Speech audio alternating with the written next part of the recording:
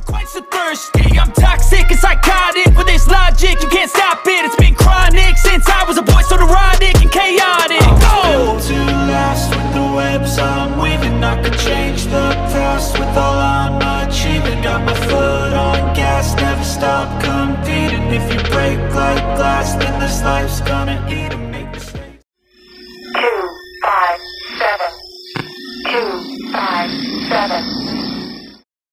Halo guys, Assalamualaikum warahmatullahi wabarakatuh. Jadi hari ini kita bakal ngebahas motor listrik lagi guys. Beredar motor listrik baru yang tampilannya mirip sekali dengan Vespa klasik guys. Dan kalian tahu harganya cuma berapa? Harganya cuma 7 jutaan aja loh. Simak penjelasannya.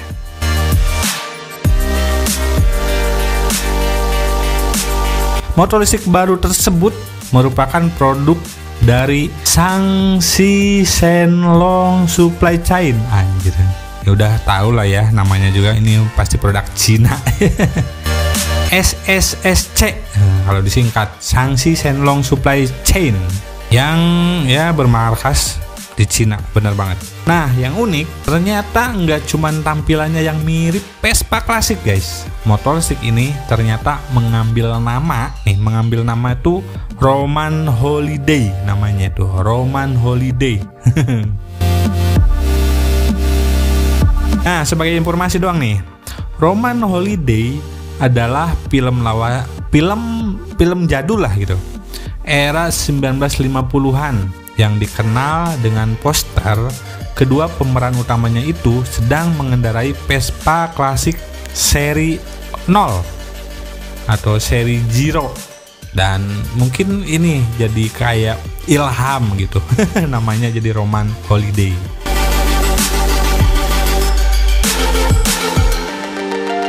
Untuk motor listrik ini memang punya bodi mirip dengan Vespa seri kosong ya, walaupun tidak sama persis. Ini gua penyebutannya salah nggak sih ya seri kosong, seri 0 apa seri zero gitu. Ini yang anak-anak Vespa pasti ngerti lah. Jadi sorry kalau gua salah ya, salah nyebut. Gua bilangnya seri kosong aja. Jadi motor ini tuh secara keseluruhan motor listrik. Ingat ya, motor ini tuh motor listrik guys. Jadi si Roman Holiday ini tuh sukses memancarkan aura klasiknya dan sedikit kemewahan dengan beberapa ada detail-detail chrome-nya gitu lah. Untuk spesifikasinya, Roman Holiday ini dibekali dengan motor penggeraknya itu berdaya 1200 watt. Dengan ada pilihan dua baterai juga gitu. Jadi pilihan baterainya ada dua, ada yang 60 volt dan ada 72 volt. Itu tergantung ini aja sih keinginan aja ya.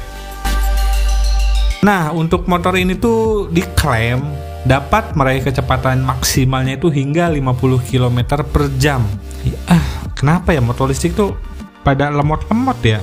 50 km doang itu aduh kalau di bawah jalan kosong dapatnya 50 doang. Tapi kalau untuk tampilan kayaknya sih emang motor ini pun nggak cocok ya untuk pakai kebut-kebutan. Makanya mungkin cuma dikasih kecepatan maksimalnya di 50 doang. Ya worth it sih kalau itu. Nah untuk pengecasannya peng pengecasannya itu cuman memakan waktu 8 sampai 10 jam.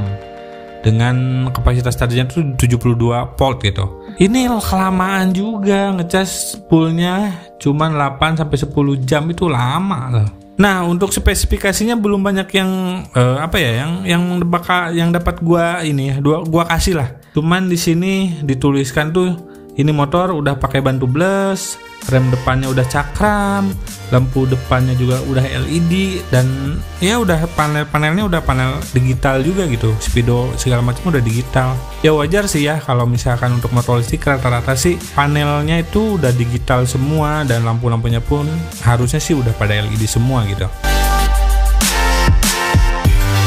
Jadi ini motor tuh bener-bener mirip banget dengan motor Vespa di antara motor-motor listrik yang sekarang yang lagi ber apa ya bermunculan tuh banyak banget yang meniru motor dari Vespa Matic itu banyak banget sampai dari Winfly sampai dari sampai ke motor yang mahal pun banyak banget yang menirukan motor Vespa Matic yang baru. Nah, tapi yang ini tuh justru unik gitu. Motor listrik ini dibuat untuk dibilangnya mengkloning Vespa Vespa jadul gitu. Dan untuk bahan material pun di sini belum ada penjelasan ya, karena kalau Vespa yang klasik itu kan bener-bener kuat bahannya itu dari besi gitu. Mungkin apa ini dari besi juga ini kayaknya nggak mungkin sih kalau dari dari plat-plat besi gitu ya. Karena ini kan motor listrik terus tenaga maksimalnya aja bisa nyampe 50 doang. Kalau misalkan dipakein body yang berat itu kayaknya kesulitan. Kemungkinan ini bodinya dari plastik ya.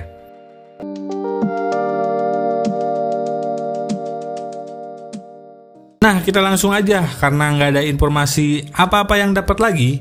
Jadi kita bahas tentang harga. Jadi harga motor listrik Roman Holiday ini dibanderol mulai dari 409 eh 498 dolar, 498 dolar AS atau kalau kita kompres kompersikan ke rupiah harganya ini sangat mengagetkan sekali guys. Cuman 7 juta 450 ribu doang guys kalau misalkan sekarang eh, satu dolarnya kita hitung 15 ribuan lah ya.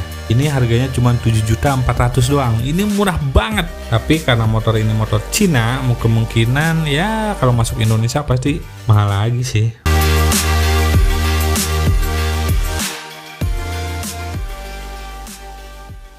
Oke okay guys, jadi gimana? Ini mirip banget ya kenapa gua bahas motor ini. Ini karena uh, walaupun informasinya sedikit tapi ini mirip banget dengan dengan motor Vespa Vespa klasik. Kalau misalkan kita punya dan di jalan kita punya ini pasti nyangkanya udah ini Vespa jadul aja gitu. Keren lah pokoknya. Oke, nggak lama-lama untuk video kali ini. Ya mungkin segitu aja dulu dan terima kasih yang udah menonton. Jangan lupa di subrek. Thank you for watching dan see you. Never gonna look back Cause damn, I was built to last You move slow and I move fast Only I can make a change. Slowly take a step today. I will never be the same